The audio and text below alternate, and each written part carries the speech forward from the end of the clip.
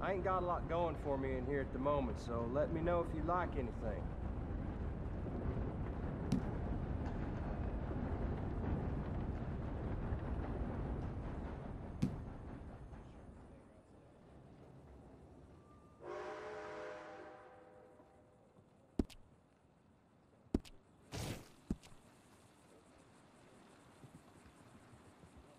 What would you like to send?